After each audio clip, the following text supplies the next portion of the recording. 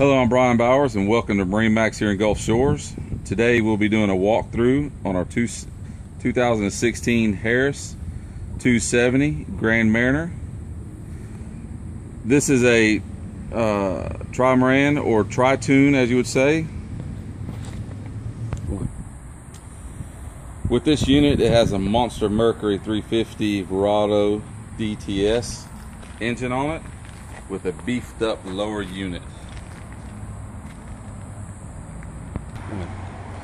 The overall length on this boat is 28 feet, uh, 38 inches, with a beam of 8 feet 5 inches.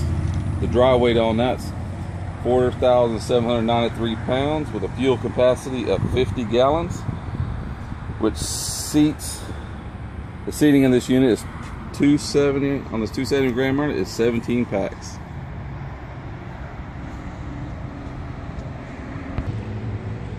The deck and floor on this Harris unit is made with our center place cross members on 16 inch centers, three quarter inch pressure treated tongue and groove plywood with a water prevention system on it.